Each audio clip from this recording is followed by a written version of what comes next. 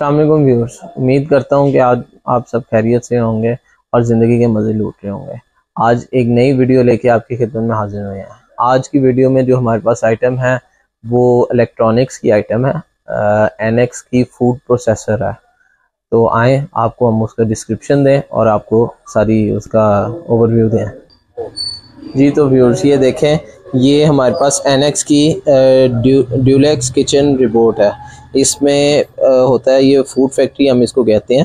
اس میں یہ chopper salad کٹر ساتھ میں اس کا یہ جوسر اس کے بعد یہ اس کا شیک کے لیے بلینڈر ہے۔ ساتھ میں یہ کرشر ہوتا ہے جو کرش کرنے کے لیے کالی مرچ وغیرہ وہ یوز ہوتا ہے۔ آئے ہم آپ کو اس کا اوپن کا اوور ویو دیں۔ یہ دیکھیں۔ یہ جون سا ہے۔ ایک اچھی کوالٹی پلاسٹک کے ساتھ اس کا یہ چاپر ہے۔ چاپر بہت سالڈ اور بڑے اچھی کوالٹی میں بنا ہوا ہے۔ یہ فی الحال تو اس کی لگی ہوئی ہے پلیٹ لگی ہوئی ہے سیلڈ کٹر والی۔ یہ پیور اسٹینلیس اسٹیل کی اس کی پلیٹ ہے۔ یہ ایس سے اور یہ۔ یہ اس طرح اس کو ہم نے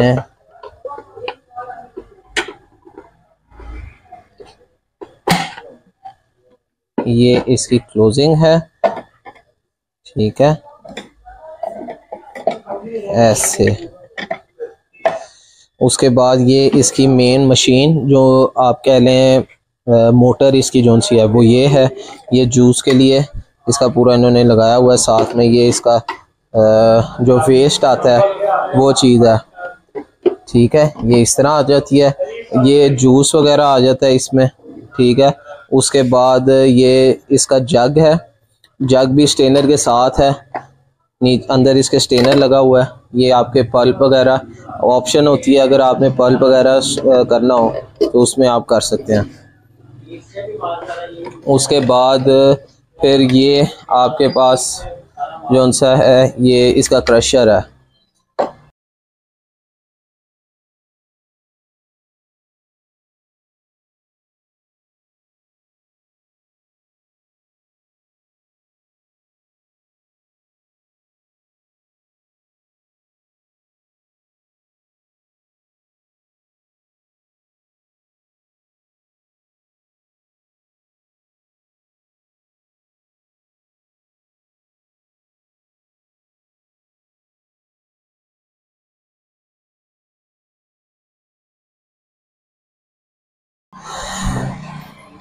جی تو ویورز امید کرتا ہوں کہ آج کی ویڈیو آپ کے لیے کافی انفارمیٹیو رہی ہوگی۔ ایک چیز آپ نے جب آپ یہ این ایکس کی مشینری لیں تو آپ نے یہ چیز ضرور دیکھنی ہے کہ یہ جینون ہو اور دوسرا یہ کہ یہ جون سا ہے اس کو پراپر طریقے سے جب تک آپ لاک نہیں کریں گے اس کے، تو یہ کوئی بھی مشین اس کی این ایکس کی نہیں چلے گی۔